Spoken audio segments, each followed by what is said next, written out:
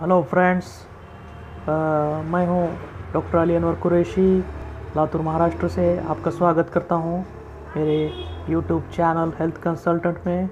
Friends आज हम CPR के बारे में एक डिटेल डिस्कशन करेंगे। सीपीआर किसे कहते हैं? सीपीआर का मतलब होता है फ्रेंड्स कार्डियो पल्मोनरी रिसस्टेशन मतलब जब किसी पेशेंट को दिल का दौरा पड़ता है कार्डियक अरेस्ट से आता है तो वो बेहोश हो जाता है फ्रेंड्स तो उस टाइम पर हम उसकी छाती दबाते हैं, उसे सीपीआर कहा जाता है. तो ये सीपीआर क्या क्या होता है क्या क्या नहीं, हम इसके बारे में देखेंगे. ये जो फ़ोटो आप देख रहे हैं, दोस्तों, इसे माउथ टू माउथ रेस्पिरेशन बोलते हैं.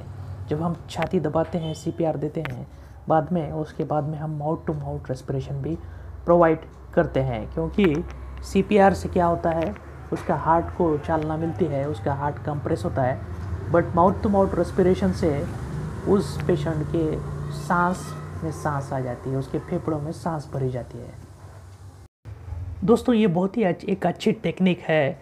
इससे पेशेंट को बहुत मदद मिलती है और इससे पेशेंट की जो सांस है, वो फिर से चालू हो सकती है। मेडिकल फ़ील्ड में अब इसका यूज़ थोड़ा कम होता है क्योंकि हमारे मेडिकल फ़ील्ड में या हमारे मेडिकल साइंस में अभी हमारे पास आम्बू बैग बोलकर एक साहित्य होता है, एक इंस्ट्रूमेंट होता है, उससे हम पेशेंट को सांस देते हैं। तो ये एक संकल्पना है सी पी आर और माउटो बट पेशेंट जब बाहर होता है, जब आपके साथ होता है, जब मेडिकल फ़ील्ड के कोई लोग नहीं होते मेडिकोस कोई नहीं होते तो उस कंडीशन में नॉर्मल इंसान ने इस माउथ टू माउथ रेस्पिरेशन को और सीपीआर को ज़रूर आजमाना चाहिए दोस्तों। तो हम आगे इसके ऊपर और चर्चा करेंगे। यह एक सीपीआर का वीडियो है। इसमें मैं एक प्रत्यक्ष कर रहा हूँ। मैं एक स्टूडेंट को, एक विद्यार्थी को सी कैसा देना है, उसके बारे में बता रहा हूँ। आप इसको गौर से देखिए। आपको बैठ के पोजीशन लेना चाहिए। आपने पेशेंट के बाजू में इस तरीके से बैठना चाहिए। फिर इस लड़की ने जैसा हाथ रखा है, उसके जैसा हाथ रखना चाहिए। आपने एक मिडल में से एक लाइन करना चाहिए और निपल से एक लाइन करना चाहिए। और जहाँ पे मिड लाइन होती है, वहाँ पे आपने हील से आपके हैंड से वहाँ पे हाथ रख कर उसको दबाना चाहिए। दोस्तों, इसके हाथ सीधे नहीं है, अभी इसने हाथ सीधे किए हैं और ज़ोर से दबाना चाहिए। मिनिमम फाइव सेंटीमीटर इतनी उसकी डेप्थ रहना चाहिए और उसकी स्पीड रहना चाहिए हंड्रेड कॉम्प्रेशंस पर मिनट और इसे कहा जाता है push hard push fast minimum interruptions hundred compression per minute and provide proper chest recoil आपको प्रॉपर चेस्ट रिकॉयल चेस्ट को बराबर ऊपर आने देना चाहिए। फ्रेंड्स जैसे ही आप CPR देना शुरू करते हैं इमिडिएटली आपने दूसरे किसी व्यक्ति को मेडिकल हेल्प के लिए फ़ोन करने के लिए बोलना चाहिए एंबुलेंस बुलाने के लिए बोलना चाहिए, या जल्दी से जल्दी गाड़ी का इंतज़ाम करने के लिए कहना चाहिए, और इमिडिएटली आपने सी स्टार्ट करना चाहिए। जैसे ही हमने आपको बताया है, उस तरीके से आप उसको सी देना चाहिए थर्टी टू टू ये फार्मूला अपनाना चाहिए। और अगर कोई पेशेंट या कोई व्यक्ति कोई थिएटर में या कोई पब्लिक प्लेस में अनकॉन्शियस हुआ है और वहाँ पे ए बोलकर एक मशीन होती है, जिसको हम ऑटोमेटेड एक्सटर्नल डिफिब्रिलेटर बोलते हैं, अगर वो अवेलेबल है तो उसको वहाँ पे अवेलेबल करने के लिए वो व्यक्ति को आपने बोलना चाहिए, उससे भी पेशेंट को रिदम चेक किया जाता है और शॉक दिया जाता है दोस्तों।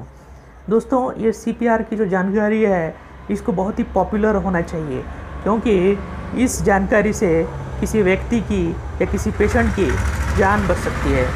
मिनिमम आपने इतना जान लो कि जब तक आप हॉस्पिटल को रन करते हैं, तब तक भी आपने कभी सीपीआर पेशेंट को देते रहा और माउथ टू माउथ रेस्पिरेशन दिया तो चांस हो सकता है कि वो पेशेंट की जान बच सके। क्योंकि आपने ये सुना होगा कि कोई भी इंजरी या कोई भी अनकॉन्शियस होता है तो एक गोल्डन हावर बोलकर एक संकल्पना होती है। गोल्डन हावर मतलब एक घंटे के अंदर अगर पेशेंट हॉस्पिटल को पहुँचता है तो वो ट्रीटमेंट लेकर वो पेशेंट बच सकता है दोस्तों। ये मेरी जानकारी अगर आपको अच्छी लगी है तो इसको शेयर करो फॉरवर्ड करो और मेरे चैनल को अभी तक सब्सक्राइब नहीं किया है तो प्लीज़ सब्सक्राइब करो और मुझसे जुड़े रहो। Thank friends C P R देते वक्त आपको ये फार्मूला ज़रूर ध्यान रखना चाहिए। Thirty is to two thirty is to two क्या है? इसमें तीस बार आपको छाती दबाना है और दो बार आपको माउथ टू माउथ रेस्पिरेशन देना है। ऐसा पाँच साइकिल होते हैं। आपको दो मिनट में पाँच साइकिल कंप्लीट करना है। Thirty is to two.